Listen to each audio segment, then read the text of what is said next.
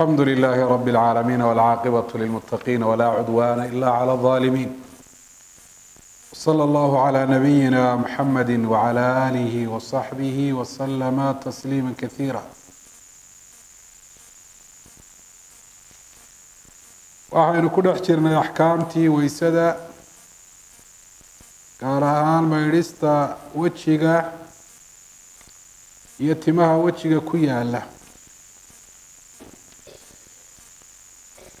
waayo xadiidka camr ibnu cabasa baabu gasli mustarsil min alixyati wuxuu tilmaamay garhkii haba weynaado haba dheeraadabe dusha in laga maydhaa inay waajib tahay alimaamu nawowina raximah llahu tacaala wuxuu tilmaamay arrintaasi inaanu wax khilaafi ku jirin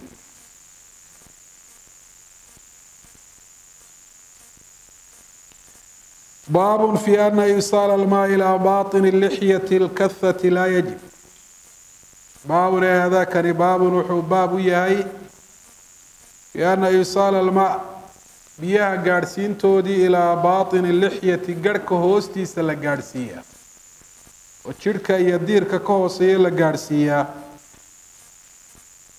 lixyadii alkahati garhkii ahaa mid weyn oo cufan laa yajibu arrinkaasi inaanu waajib ahayn baabkani wuxuu ku saabsan yahay qofku haddii uu leeyahay garh weyn. Inaanay waajib ahayn diirka garhkaasi ka hooseeya inuu maydho. Garhka ayuunbuu dusha ka maydhayaa laakiin diirka ka hooseeya jidhka ka hooseeya biyaha inuu gaadhsiiyaa waajib inaanay ahayn buu tilmaamay. Can ibni cabaasin radia allahu canhuma annahu tawada'a wuu weysaystay fagasala wuxuu maydhay wajha wejigiisa faakhada wuxuu qaatay karfatan darsiimo min maain biyo ah fatamadmada biha wuu ku luqluqday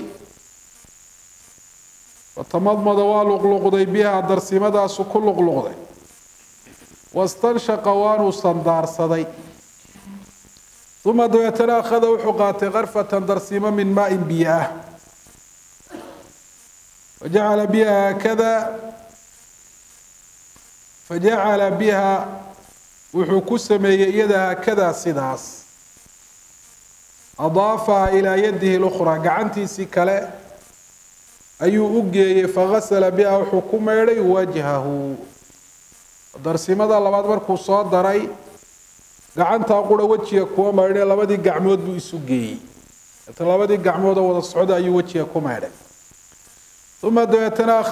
qaatay karfatan darsiimo min maain biyaah fagasala biha wuxuu ku maydhay iyada yadahu gacantiisii alyumna ee midig uma dabeetana akhada wuxuu qaatay karfatan darsiimo min maain biyo ah fagasala waa maydhay biha darsiimadaasuu ku maydhay yadahu gacantiisii alyusra ee bidix uma dabeetana masaxa bira'sihi madaxiisii ayuu masaxay uma dabeetana akhada wuxuu qaatay karfatan darsimo min maain biyo ah warasha biha wuxuu ku shubay calaa rijlihi lyumna lugtiisa midig dusheeda ayuu ku shubay xataa gasalahaa ilaa uu maydhay lugtii midigna uma dabeetana akhada wuxuu qaatay karfatan darsimo min maain biyo ah wagasala biha wuxuu ku maydhay rijlahu lugtiisii alyusra ee bidix uma dabeetana qaala wuxuu yidhi ibnu cabaas hakadaa saasaa ra'aytu arkay rasuula allahi sala allahu calay wasalam rasuulkii ilaahay oo yatawada-u weysaysanaya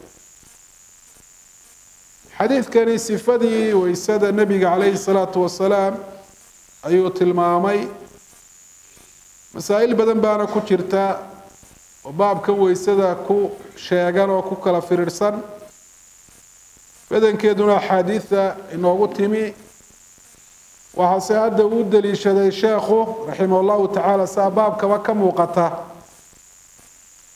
Qofka uu garhkiisu wen yahay garhka diirka ka hooseeya inuu maydhaa inaanay waajib ku ahayn. Oo dusha inuu ka maydhayo. Waxaanu taa u daliishaday marka koowaad in nebigu calayhi salaatu wasalaam uu lahaa garh weyn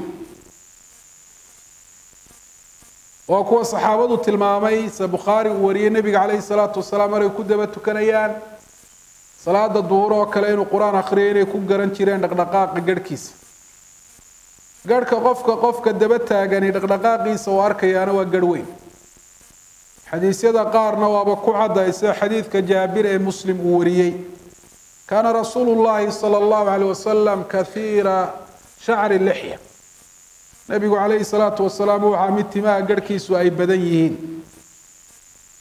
Cali bin abi aalibna wuxuu yihi kaana rasuulu llahi sala allahu caleyh wasalam cadiima lixya. Rasuulka ilaahay wuxuu ahaa mid garh weyn riwaayad kalena katha lixya. Saxaabo badan baa soo warisoo soo tabisay nabiga calayhi salaatu wasalaam garhkiisu inuu weynaa. Marka taasi waa masalada koobaade wuxuu ku dhisay. Masalada labaad iyadoo nebiga calayhi salaatu wasalaam garhkiisu sidaasi uu u weynaa waxaa saxaabigu uu sheegay hal darsiimo oo biyo ah in nebigu calayhi salaatu wasalaam uu ku maydhay wejigiisa. Waxaana la fahmi karaa hal darsiimo oo weji lagu maydhay wejigaasi oo garh weyni uu ku yaallo halkaa darsiima inaanay gaadhahayn oo aanay maydh ahayn timaha waxa ka hooseeya diirka ka hooseeya. Markaa taasi waxay daliil u tahay maadaama nebigu calayhi salaatu wasalaam hal darsimo wejigiisa oo garhka weyni uu ku yaalay uu ku maydhay. Waxay daliil u tahay garhka weyn. Diirka ka hooseeya jidhka ka hooseeya in la maydhaa inaanay waajib ahayn sheekhuu taa waaba caddeeye wuxuu yihi waqad culima waxaa la ogaaday annahu sala allahu alay wasalam nebigu kaana inuu akatha lixyati mid garh weyn. Wa ana alkarfata baa la ogyahay darsiimada alwaaxidata ee kelida ah wain cadumat haba weynaato oo in weyn ha soo darabee.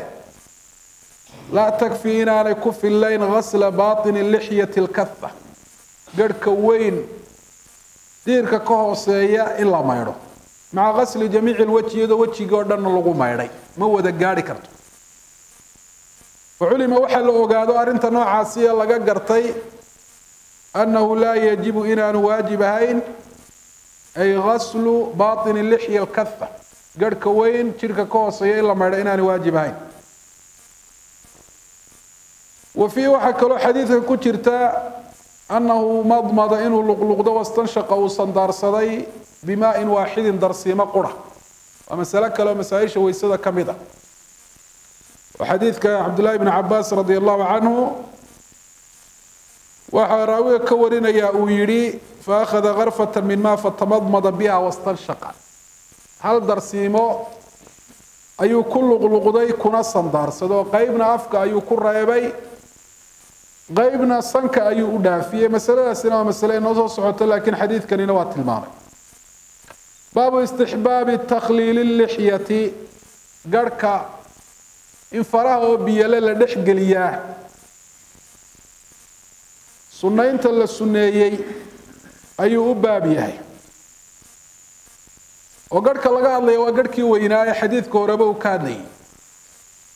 Ee xadiidka hore sheekhu u daliishaday in guntiisa biyaha la gaadhsiiyo jidhka ka hooseeya la maydha inaanay waajib ahayn. Marka waajib ayaanay noqon guntiisa in la maydho biyo la gaadhsiiyo lagu maydho. Laakiin waxaa sunnaa buu leeyahay faraha oo qoyan oo biyale in sidaa loo dhexgeliyo can cuhmaana radia allahu canhu ana nabiya sala allahu aleyh wasalam kaana waxaa yukhalilu faraha oo qoyan oo biyale mid dhexgeliya lixyatahu garhkiisa. Rawahu bnu maaja والترمذي وصححه. حديث كان كاسنا حديث صحيحة بشواهده. مركا حديث كلا عمر خاتف ريس اللوجي وعن أنس أن النبي صلى الله عليه وسلم كان وحا إذا توضأ. مركو ويسيسن يأخذ وحو قاد جري كفا صعب من ماء بيئة. أدخل وحو قلن جري تحت حنكي قرك هوستيسة. xaggan hoosuu ka soo gelin jiray wakhallala bihi waxa uu ku takhliilin jiro uu dhex gelin jiray lixyatahu garhkiisa. Wa qaala waxaanu yihi haakadaa saasuu amaranii ifaray rabbii rabbigay caza wajalla rabbigay saasi ayuu ifaray marka xadiidkan dambe sanadkiisa waxaa ku jira rawahu abu daawuud sanadkiisa waxaa ku jira alwaliid ibnu zawraan wa majhuul lxaala anas ibnu malik baanu ka warinayaa أنس بن مالك إن وحكم بقلينا وشك باكسوغان والإمام أبو داود رحمه الله تعالى وحدر لا يدرى سمع من أنس أم لا. أنس بن مالك إن وحكم بقلي إن كلا لقران ما يبول. أنا وأرن لقى شك السيهي وهي حديث كورا مركا وحد تلمامي إن السنة هاي تخليل اللحية الكثة. قركي ويناء jidhka ka hooseeya maydhistiisu aanay waajibka ahayn ee dusha uu laga maydhaayey in faraha oo qoyan oo biyo wata la dhex geliyaa inay sunno tahay. Maadaama nebigu calayhi salaatu wasalaam sidaa uu sameeyey weysada dhexdeeda.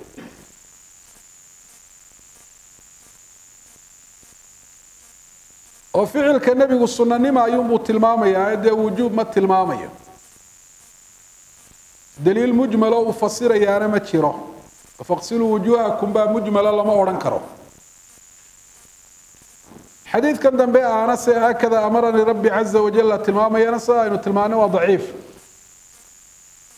hadduu ansixi lahaana cibaarada noocana waxay u daliishadeen ama ay ku fasireen culimada badankoodu inay arrinkan uu noqon laha mid nebiga calayhi salaatu wasalaam u gaara garhku hadduu yahay mid khafiifa oo jidhkii ka hooseeyeyba uu muuqanayo marka la wada fadhiyo isaga in la maydho baatinkiisa inta ka hooseysa ayaa waajiba. Waana sida ay ku tegeen culimada badankoodu sida imaam malik iyo shaafici iyo axmed. Waxaana taa u daliila qowl llahi tacaala faqsiluu wujuuhakum. Oo jidhkaa garhka ka hooseeyaa waa mima taxsulu bihi lmuwaajaha waa wejiga ayuu ka mid yahay oo qofku dadka wuxuu ku waajiya uu ku qaabilo mid ka mida weeye waana mowdic daahira waa meel wejigii ka mida oo muuqata. Marka waxay la xukum noqonaysaa un qofka dhabankiisa dhabanka in la maydha siday waajib u tahay. Garhkaa khafiifka ah jidhka ka hooseeya in la maydhana waa waajib arrintaana wax dhibaato ah ama kadeedoo ku jira ma jiro. Garhku se haddii uu yahay garh cufan. In hoostiisa la maydho oo biyihii la gaadhsiiyo jidhka ka hooseeya mashaqa ayaa ku jirta iyo dhibaata iyo culays. Saasi awgeed baynu nidhi culimada badankooduna ay ku tegeen in hoostiisa la maydha waajib maha dusha ayaa laga maydhayaa faraha oo biyale in la dhexgeliyaana oo lagu takhliiliyaana waa shay sunno ah.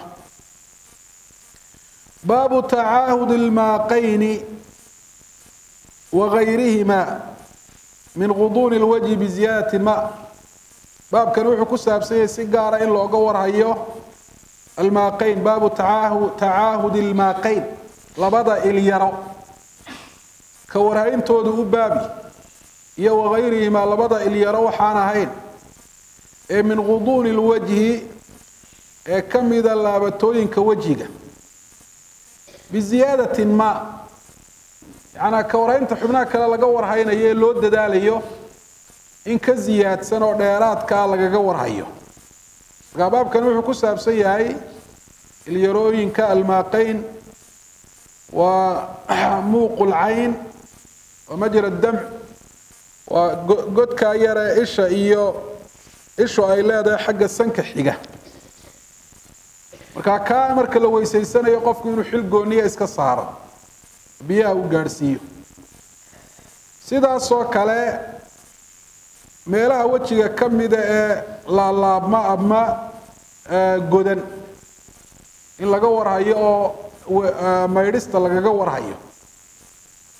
Can abi umaamata annahu wasafa wuxuu sifeeyey abu umaama wuduu'a rasuuli illaahi sala allahu alayh wasalam rasuulka ilaahi weysadiisa fadakara wuxuu sheegay halaathan halaathan liannahu tawada'a halaathan halaathan saddex saddex jeer inuu xubnaha maydhay qaala wuxuu uhi wa kaana wuxuu ahaa rasuulku calayhi salaatu wasalaam yatacaahadu mid xil gooniya iska saaro oo si gooniya uga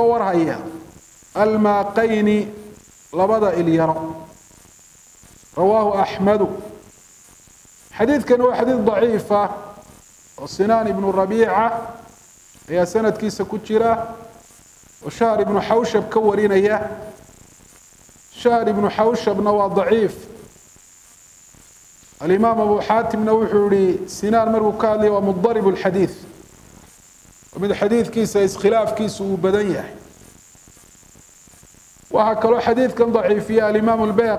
waxaa kaloo xadiidkan daciifiya alimaam lbayhaqi raximah llah wa fii rafci lxadiidi shakun xadiidkani nebiga calayhi salaatu wasalaam loo kor yeelo xadiid nebiga laga wariyey laga dhigana iyada lafteedana shaki ayaaba ku jira amaa masalada ku sugan baabka labada indhood gudahooda in la maydhaa waajib maaha biitifaaqi alculamaa culimaduna taa way isku waafaqeen culimada markaa ijmaaca soo rartayna waxaa ka mid ah alimaamu nawowi raximah llahu tacaala sunno ma tahay labada indhood gudahooda in la maydho. Waa masale khilaafu ku jiro madhabka shaafici laba weji baa ku sugan. Jumhuuru shaaficiyana waxay ku tegeen ilaa cadam alistixbaab indhaha gudahooda in la maydho xataa inaanay sunno ahayn. Bal arrinta noocaasi dhibaata ayaabay leedahay indhaha gudahooda in la maydhaa indha la'aan baa laga qaadaa cabdullaahi ibnu cumar radi allahu canhu indhaha gudahooda ayuu meydhi jiray. Arrinta noocaasina indha la'aan ayay u sababtay. Taasi waa masale masalada ku saabsan ilyarooyinka. Si gaara looga warhayaa iyadu waa sunna weey. Waayo waa meel wejigii ka mida isha gudaheediina ma aha. Waxaana dhici karta maadaama meeshaa godan ay tahay biyuu inay ka boodaan waxaa kaloo dhici karta inay wax marsan yihiin oo waxay dul saaran yihiin dheecaamada markaa indhaha ka yimaado oo kale halka had iyo jeeraale waa fuulaan markaa si gaara in looga warhayaa guud ahaan waa sunne. Haddii aanay si kale maydhistu ku suurtoobahayn ilaa halkaa si gaara in farta loo mariyo loo geliyo mooyaane. Sida inay wax saaran yihiin oo kale xaaladaasoo kale dee waajib bay noqonaysaa waxaan baraarujinaya alimaam shawkani raximah llahu tacaala halkan sharaxanay lawtaarka wuxuu ku yihi waqaala fi majmaci zawaad rawahu طabarani fi lkabiir min ariiqi samiicin can abi umama isnaadu xasan samiic dakarahu ibnu xibaan fi hiqaat qaala laa adri man huwa walaa bnu man huwa waظaahiru anahu ictamada fi tawhiiqi calaa gayrih hadalka noocaasa wuxuu tilmaamay inuu majmacu zawaaidka saaxibu majmacu zawaaid inuu tilmaamay xadiidkana inuu xasan yahay. Wa hada wahmu min alimaam shawkani raximah اllahu tacaala waayo xadiidka majmacu zawaaidka ku jira xasanka uu ku tilmaamay lafdigiisu lafdigan waa ka duwan yahay walaysa fiihi masxu lmaaqayn ilyarooyinka in la masaxo oo si gaaro gacanta loo mariya oo looga warhayaana xadiidkaa kumaba jirtaba marka waxaa la odhan karaa dee laba xadiid baabay kala yihiin marka mas'aladaas si gaara looga hadlaayo. Wa can ibni cabaasin ana caliyan radia allahu canhu qaala wuxuu yihi calih ya bna cabaas alaa atawada'u laka? Ku weysaystaa wuduu'a rasuulilah ay wuduu'an weysaysi? oo ka wuduu'i rasuulillaahi sala allahu calay wasalam rasuulka ilaahi weysaysigiisii oo kale ah. Ma ku tusaa siduu nebi maxamed u weysaysan jiray? Qultu waxaan idhi balaa haaye i tus weysadii nebiga calayhi salaatu wasalaam. Fidaaka abi wa ummi aabbaha iyo hooyadee lagugu furay. Qaala wuxuu ihi fawadaca waa dhigay inaa'an weel fakasala waa maydhay yadeyi labadiisa gacmood buu maydhay. Wuu faraxasha uma dabeetana madmada waa luqluqdo wastanshaqa biyuu sanka geliyo wastanhara biyuu sanka uu geliyey buu soo saaruu soo celiyey uma dabeetana akhada waa qaatay ay maa-an biyo biyaday labadiisa gacmood buu biyo ku qaaday fasaka bihimaa wuxuu ku shubay wajha wejigiisa markaa saka luqaahana salahaan waa allatm faaqbalat imra'atuhu fasakat wajhaha ay latamat wa dhirbaaxada wejiga la dhirbaaxo markaa fasaka bihimaa waxay noqonaysaa biyihii uu labada gacmood ku qaaday wejigiisa ku dhirbaaxay walihaada culimada qaarkood waxay ku radiyeen xadiidkan shaaficiyada oo ku dara sunnayaasha weysada inaan wejiga lagu dhufan. Biyihii inaan wejiga lagu dhufan. Shaaficiyaduna waxay dhahaan fasaka bihimaa wajhu loogama jeedo wejiguu ku dhirbaaxay oo dee taa dhibaataaba ka dhalanaysee ee waxaa looga jeedaa saba almaa calaa wajhi laa latamahu. Oo saka hunaa bimacnaa saba weeye. Saka halkan saba bay la macnata.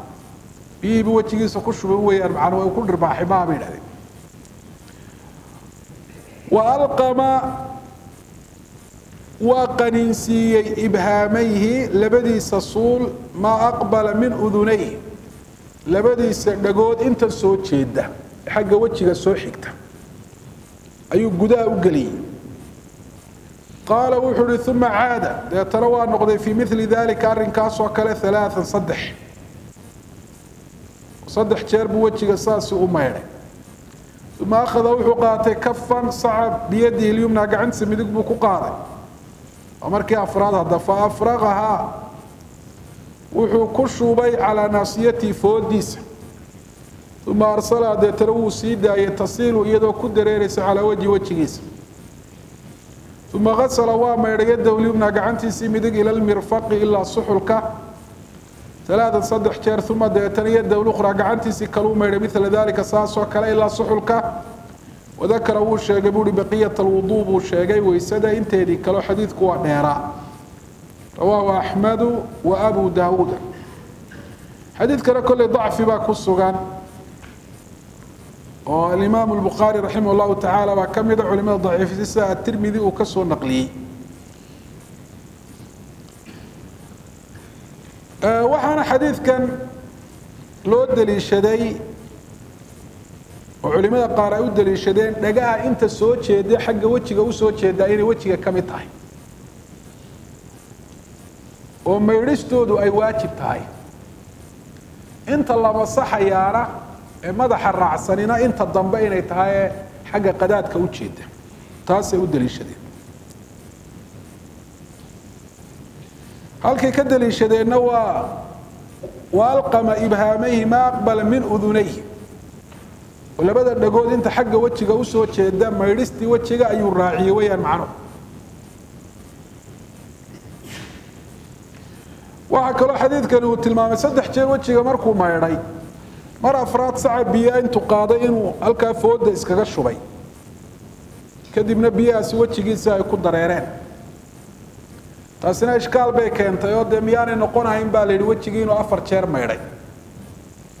Maydhistana dee saddex jeer lagama ziyaadin karo lagama kordhin karo. Haddii saddexdu ay wada gaadhaan oo ay ku filaadaan culimada qaarkood taa waxay ku macneeyeen in saddexda jeer aanay wejiga wada gaadhin.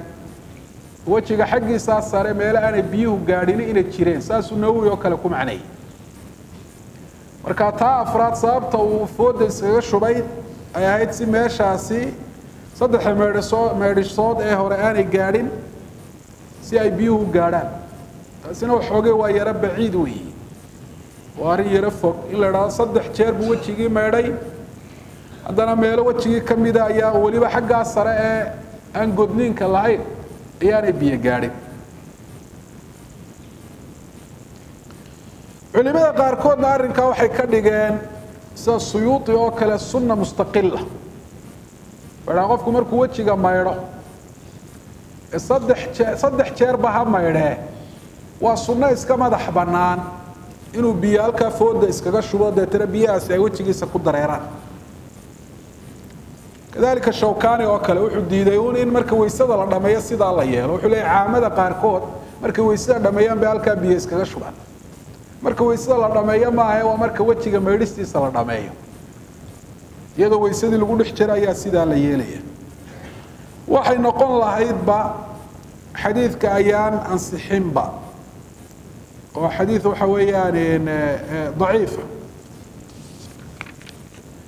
baabu asli اlyadayn labada gacmood maydhistoodu u baabiyey maca almirfaqayni labada suxulla iyadoo lala maydhayo wa iطaalat اlgurati buu u baab yahay.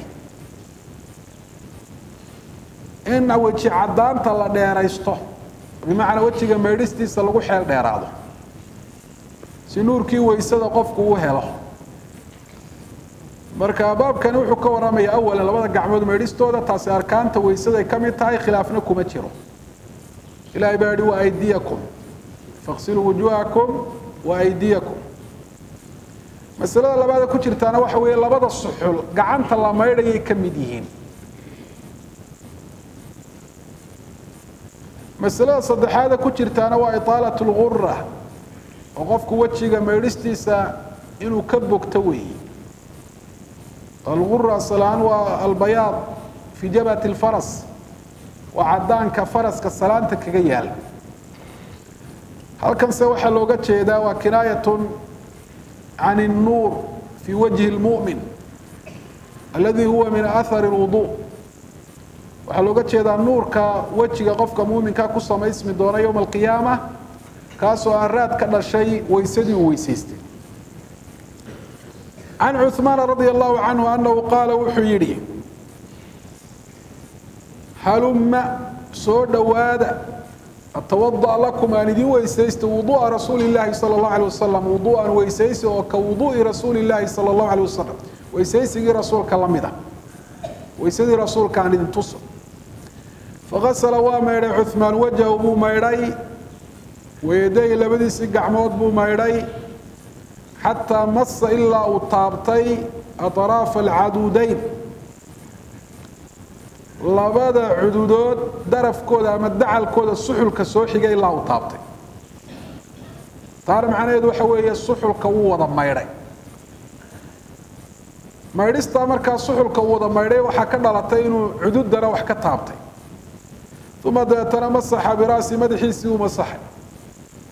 Uma amara waa mariyey biyadayhi labadiisii gacmood calaa udunayhi labadiisa dhagood iyo walixyatihi garhkiisi uma dabeetana gasla waa maydhay rijlay labadiisii lugood buu maydhay.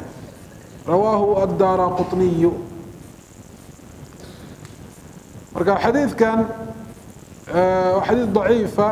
Ibnu isxaaq baa sanadkiisa ku jira oo mudalisa can ayaanu ku wariyey markaa xadiidkii laga aqbali maayo lakiin masaaisha xadiidka ku xusan waa masaa'il markaa shawaahid leh adilada kale.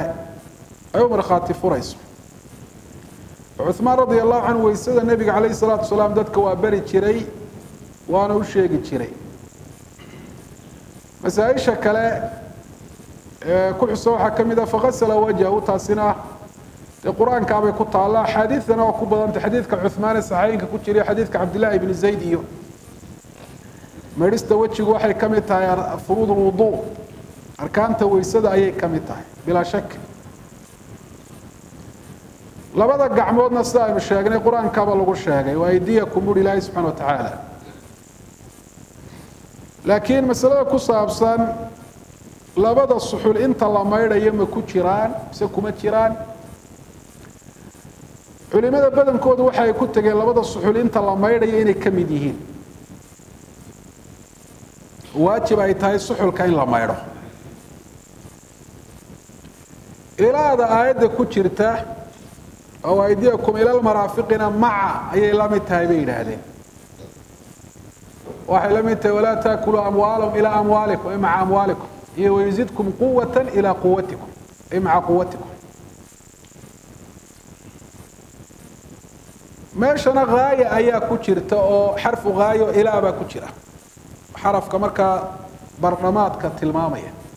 Waxaana jirta masalada ku xusan kutubta usuul oo ah hal ilgaayatu min almugaya am laysat minhu shay haddii la sheego oo bardhamaad loo sheego bardhamaadkaas miyuu ka mid yahay mise wuu ka baxsan yihi sida saxdiina waxay tahay in bardhamaadka la eego bardhamaadku miyuu la jinsi yahay shayga bardhamaadkiisa la sheegayo mise uu ka jinsi duwan yahi haddii uu la jinsi yahay waa ka mid haddii aanu la jinsi yahayna ka mid maaha kala jinsiga tusaale waxa u ah aayaddan wa aydiyakum ila almaraafiq oo almirfaq oo suxulka ah waa min jinsi ilyad gacanta jinsigeedii ayuu ka mid yahay.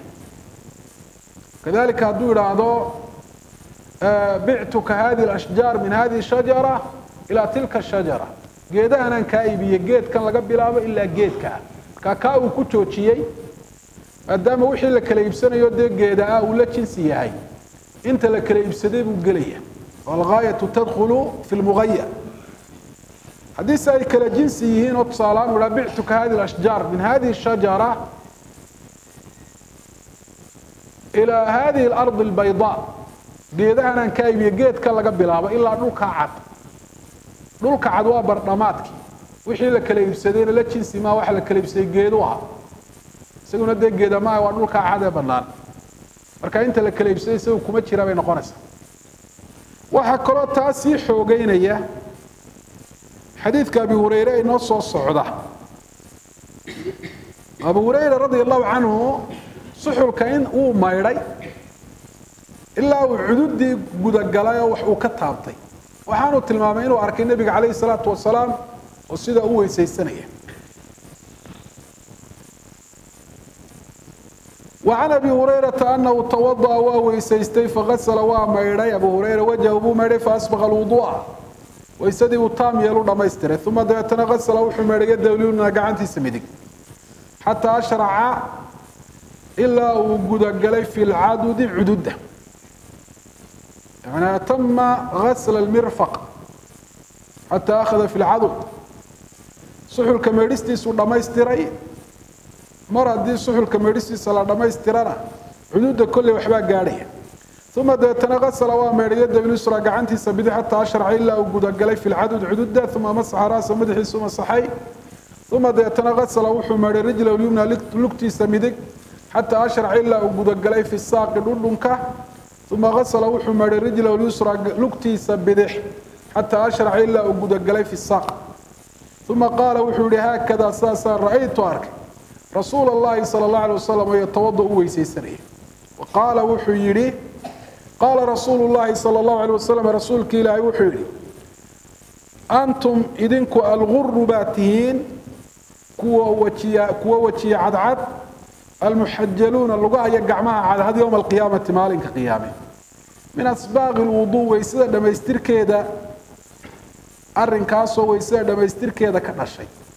ay min ahari lwuduu sida riwaayaadka qaarkood ku cadda. Faman istaaaca kaawado minkum isagoo idinka idinka mida falyutil ha dheeraysto qurata weji cadaantiisa iyo wataxjiilahu gacmo iyo luga cadaantiisa rawaahu muslimun. Xadiidkan wuxuu u daliishanayaa sheekhu masalada labaad ee baabka ku xusan oo ah labada suxul inta la maydhaya inay ka mid yihiin. Haluu ka daliishanayaana waxa weeye uma gasala yadahu alyumna xataa ashraxa fi lcadud oo mar haddii maydhistii ay wax ka taabatay cuduudda macnaheedu waa maxay? Waxaa la maydhay suxulkii waa la maydhay. Nabigaana calayhi salaatu wasalaam sida aan ku arkay buu hi abu hurayra.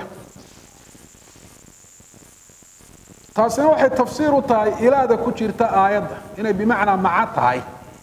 Oo ila lmirfaqayn ay maca lmirfaqayn labada suxul la maydha macnaheedu uu yahay sidaas oo kale kuraamuhu kacbeynka ayaa waxay ku jiraan inta la maydhayo. Wa arjulakum ila alkacbeyn. Oo labada kuraamoodna inta la maydhaya bay ka mid yihiin. Nabigu calayhi salaatu wasalaam wuu maydhay. Taasina ilaaday tafsiir u tahay oo ilaadaas inay bimacnaa maca tahay ayay tilmaamaysaa. Waxaa kaloo laga faa'iidaysanaya saxaabada rasuulku dadka inay si tadbiiqiya oo dhaqangelina u bari jireen cibaadaadka sidii nebiga calayhi salaatu wasalaam ay ku arkeen dadka ay tusi jireen أنتم الغر المحجلون يوم القيامة من إسباغ الوضوء.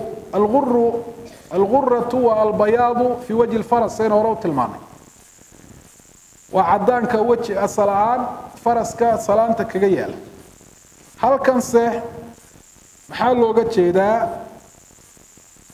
Waxaa looga jeeda anuur aladii yakuunu calaa mawaadic lwuduu yowma alqiyaama.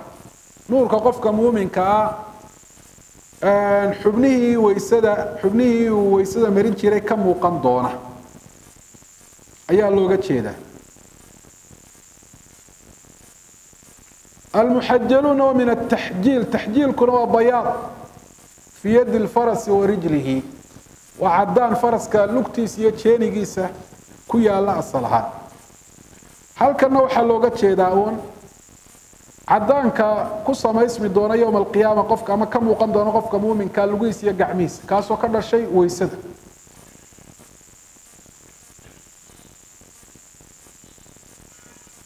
taasina waxay tilmaamaysaa qofku mar uu dhammaystiro maydhista wejiga maydhista gacmaha iyo maydhista lugaha nuurkaasi inuu u sii badanayo.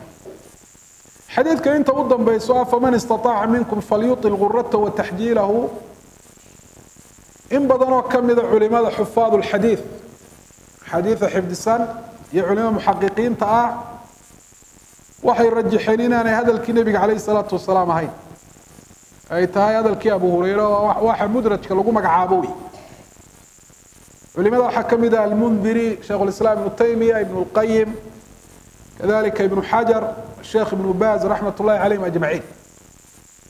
دور الرموت بان التاتو سنعرن كوادوحة وهي حديث كان النبي عليه الصلاة والسلام سيدة ابن حجر وتلمامي طبان صحابي باكوري طبان كان صحابي وحاكم دا عبد الله بن مسعود أبو سعيد الخدري أبو أمامة حذيفة وغيره. حديث كأبي هريرم ويانا يعني حديث كلا وطبعا كان حديث كمي oo faman istataaca minkum falyutil gurata wataxjiilu ay ku xusan tahay maba jiraba abu hureyrena xadiidkan dad badan baa ka wariyey dadkaa ka wariyey waxaa sheegay oo qura hadalkana faman istataaca minkum falyutil gurata wataxjiilahu nucaym bas hurayra xadiidka dadka kale abu hureyre ka wariyey oo dhan may sheegin nucaym laftiisana fulayx ibnu sulaymaan oo ka warinaya wuxuu tilmaamay inuu yihi laa adriya min kalaami nabiy am min kalaami abi hurayra. Garan maayo hadalkaa faman istataaca minkum falyutil gurata wataxjiilahu ma hadalkii nabiga calayhi salaatu wasalaam isagoo hadalkii abu hureyre garan maayo. Marka xagga riwaayad ahaan marka la eego saasi ayaa raajixa inaan hadalkii nebiga ahayn faman istaca minkum falyutil gurata wataxjiilahu ta kale itaalat lgura waa gayru mutayasira guradu dee waa caddaantii wejiga macnaa in maydhistii wejiga la dhammaystiro dee lama dheerayn karo waayo wejigu xad buu leeyahy xadkiisa haddii la dhaafiyana dee quro noqon maysaba ile madax baa la gelaya ama qoor baa la gelaya caddaanta madaxa iyo caddaanta qoortiiyo taana dee quro lama idhaaba qurada dheeraynteedii baan suurtoobahaynba saasoo kale waxa weeyaan dee taxjiilkii xadkii aayaddu ay sheegtay in laga baxo ayay noqonaysaa. Xubin kastoo ka mida xubnaha weysadana waa xubin madax bannaan. Oo iyada uun goonideeda loo maydhayo. Xubinta kale in lala maydhayo oo qeyb ka mida la raacinayo. Adilo u tusin mayso. Ta kale nebiga calayhi salaatu wasalaam lagama xifdin oo lagama soo warin.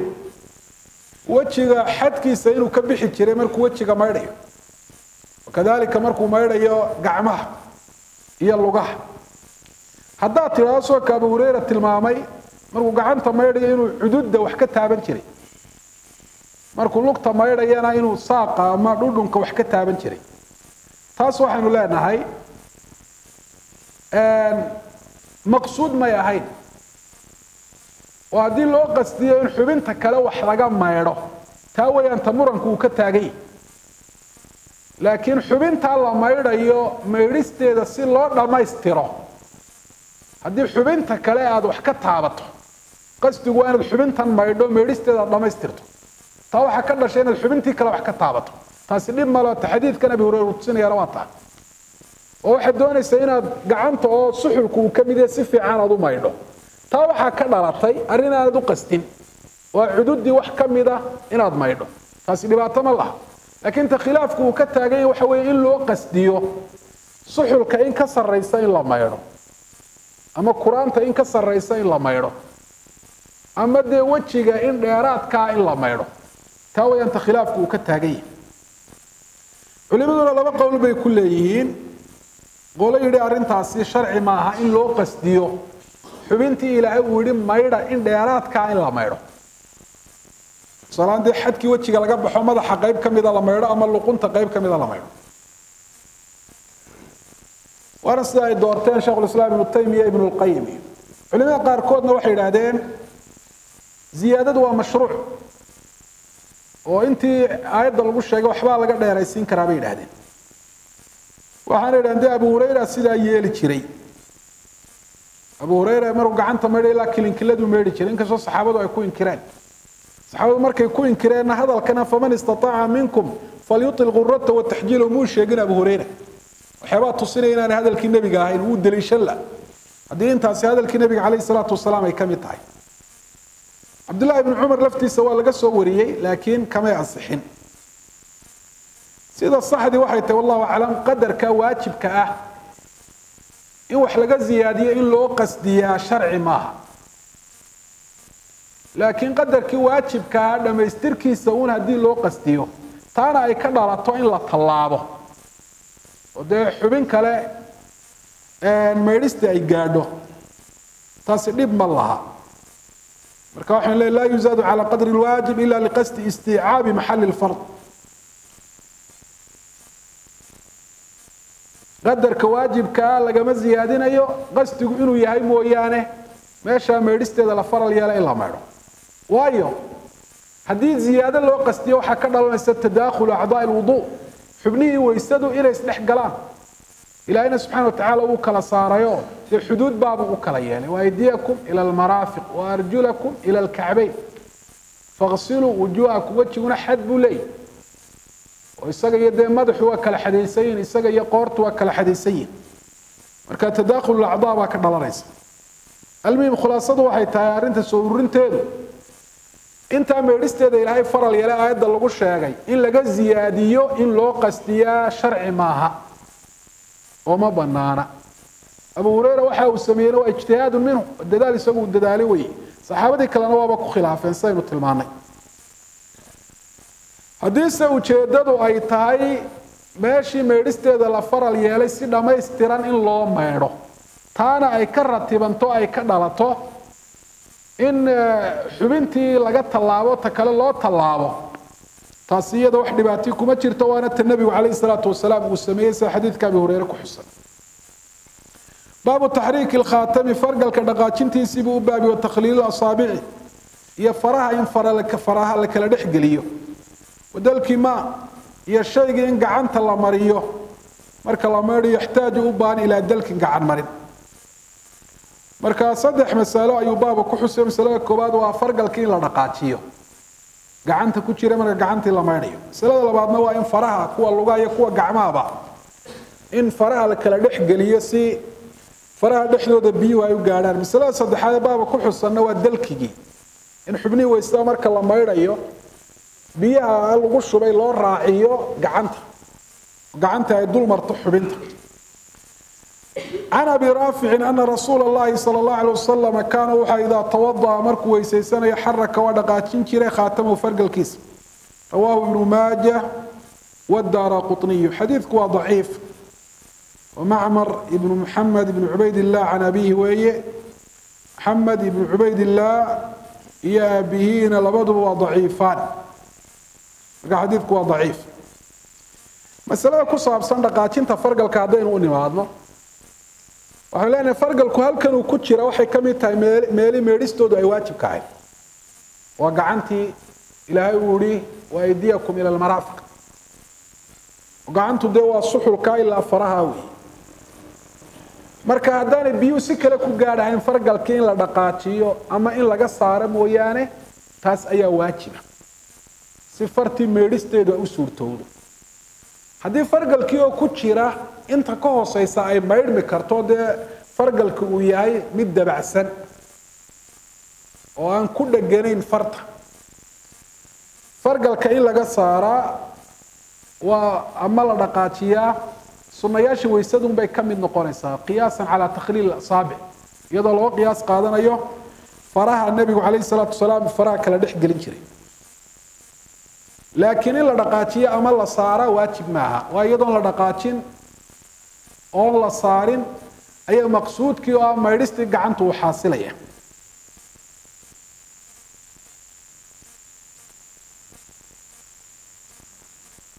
وعن ابن عباس أن رسول الله صلى الله عليه وسلم قال وحوري إذا توضأت مركز ويسيسنس فخلل أصابع يديك فراها قعمها fara kala dhex geli. Warijlayka iyo faraha lugaha. Wasaabica rijlayka rawahu axmedu wabnu maaja watirmidi xadiidkan wuxuu tilmaamaya qofku markuu weysaysanayo farahan gacmaha inuu faraha gacanba gacanta kale faraheeda inuu saa u kala dhex geliyo. Si intaa faraha udhaxaysa biyuhu ay u gaadhaan. Kuwa luguhuna waa sidaasoo kale wey arrinka noocaasina sida culimada badankoodu ay ku tageen waa arrin ka mida sunnayaasha weysada waayo takhliilku waa shay dheeraadka ah maydhistii ilaahay uu sheegay. Faqsiluu wujuhakum waaydiyakum ila almaraafiqi waarjulakum ila alkacbayn. Haddii aanay biyuhu si kale ku gaari karin faraha dhexdooda in faraha la kala dhexgeliya waajib bay noqonaysaa maa laa yatimu lwaajib ilaa bihi fahuwa waajib. Wixii kugu waajibay waxaa la'aantii aanu mu suurtagal laahi ee addoonku uu awoodaa waajib buu noqonaya haddiise biyuhu ay gaari karaan faraha dhexdooda iyadoo aan waxba la kala dhexgelin fara aan la kala dhexgelin in fara la kala dhexgeliyaa sunna ayuunbay noqonaysaa waajib noqon mayso وعن المستورد بن شداد قال وحر رأيت وحن أركي رسول الله صلى الله عليه وسلم وإذا توضأ مركو ويسيسن يخلل أصابع رجليه لغاها فرها لغاها كلا دح قلين إياه بخنصره فريرديس رواه الخمسة إلا أحمد marka xadiidkan wuxuu tilmaamaya isaguna ilaa axmed wuxuu tilmaamayaa rawahu lkhamsatu ilaa axmeda nacam wuxuu tilmaamayaa qaabkii faraha lugaha loo takhliilinaya waa in faryarada laba farood oo kasta oo faraha lugaha ka mida la kala dhex geliyo si ay biyihii u gaadhaan وعن عبد الله بن زيد بن عاصم ana nabiya sala allahu caleyh wasalam tawadaa waa weysaystay fajacala wuxuu bilaabay yaquulu inuu yidhaahdu sameeyo haakadaa sidaa yadluku isaga oo yani gacantii marinaya xubintii uu meedhiyay rawaahu axmedu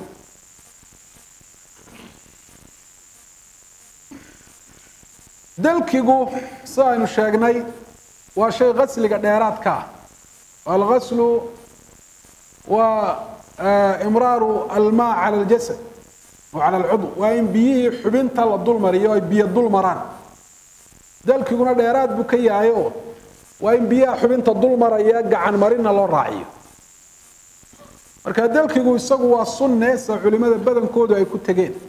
Imaamu maalik iyo musani oo shaaficiyada ka mida baa yidhi shuruudda weysaduu ka midi dalkigu dheeraad buu ka yahy wixii ilaahay wayna amray. Ilaahay qasli buu ina amray dalkiguna dheeraad buu ka yahy marka dalkigu waajib maaha laakiin waa sunne weeye.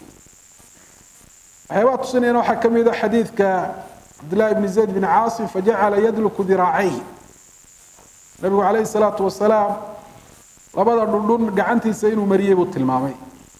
Haddii aanay biyihii si kale ku gaadhahayn in gacan loo raaciyo mooyaane markaa waajib bay noqonaysaa waajib asligina maaha dee waa waajib dhammaystirka waajibka uu keensaday weeye. Haddiise xubintii biyihii ay ku gaadhayaan shubis lagu dul shubay uun. Walow gacan bayaa la marmarin oo loo raacine intaasi ayuu waajibkii ku xaasilayaa. Wixii intaa dheeraadka ahina waa sunne.